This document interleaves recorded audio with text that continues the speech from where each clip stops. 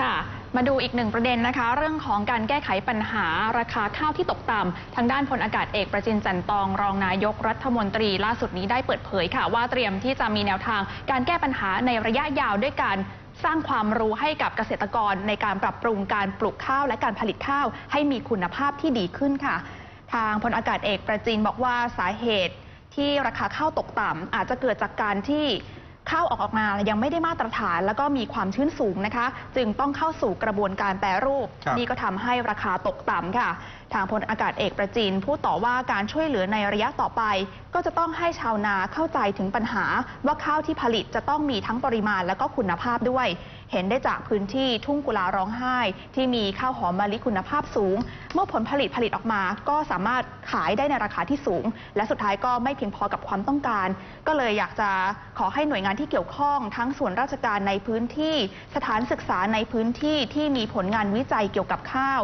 รวมถึงนำเอาวิธีการทำนาของเกษตรกรที่ประสบความสำเร็จมาประกอบกัน แล้วก็จัดอบรม ชาวนาให้นำเอาความรู้ต่างๆ มาใช้ให้เกิดผลจริงนะคะ จะได้สามารถเพิ่มปริมาณและคุณภาพข้าวให้ขายได้ราคาดีขึ้นค่ะ ครับโจทย์ใหญ่ของชาวนาตอนนี้ยังคงเป็นเรื่องที่ต้องไปพัฒนาทั้งพันธุ์ข้าว ยกระดับการผลิตเพื่อต่อยอดไปสู่การสร้างมูลค่าเพิ่มให้ได้ นี่ก็คือมุมมองจากทางรัฐบาล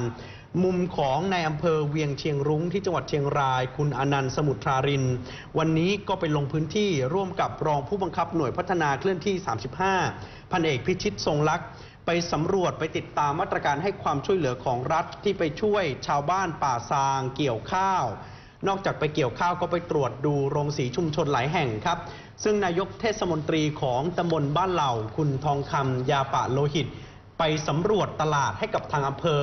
แล้วก็มารายงานพบว่าเอกชนที่เขาเคยรับซื้อข้าวมีอยู่ 3 รายในพื้นที่ ตอนนี้เขาหยุดรับซื้อข้าว ไม่ว่าจะเป็นข้าวคุณภาพดี หรือคุณภาพที่เกรดรองลงมาก็ตาม ตอนนี้หยุดรับซื้อก่อน เหตุผลที่เอกชนเขาไม่ซื้อ เพราะว่าส่วนกลางไม่ได้กำหนดราคากลางในการรับซื้อข้าว ลงไปในระดับท้องถิ่นทำให้ตอนนี้พ่อค้าท้องถิ่นไม่กล้าจะรับซื้อ เพราะว่ามันมีความเสี่ยงเรื่องราคาที่ผันผวนขึ้นลงได้ ต้องรอคำนวณราคาให้ชัดๆ ซึ่ง ทางตัวแทนของรัฐที่ลงพื้นที่คุณอนันต์สมุทรารินนะครับ บอกว่าการแก้ไขปัญหาเฉพาะหน้าก็เดี๋ยวจะจัดให้ประกันราคาข้าวเจ้า ก่อนที่ข้าวเหนียวนาปีปีนี้จะเก็บเกี่ยวช่วงปลายเดือนพฤศจิกายนนี้ แล้วเติมเข้ามาในระบบ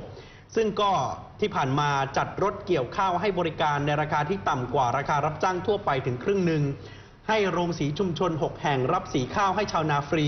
เพื่อที่จะไปลดต้นทุนให้พี่น้องชาวนา นอกจากนี้หาสถานที่ตากข้าวให้กับชาวนาระหว่างรอจำหน่าย ส่งเสริมการทำบรรจุภัณฑ์ให้ดูน่าซื้อน่าหยิบ จัดทำเว็บไซต์นำเสนอผลผลิตข้าวแต่ละท้องถิ่น นอกจากนี้ส่งเสริมให้ปลูกพืชให้หลากหลาย แทนแทนการปลูกพืชเชิงเดี่ยว ที่มีผลกระทบจากเรื่องของราคารับซื้อ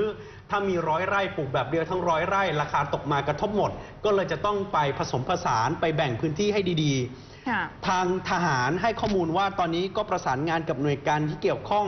หารถเกี่ยวข้าวมาให้บริการประชาชน 2 คันครับ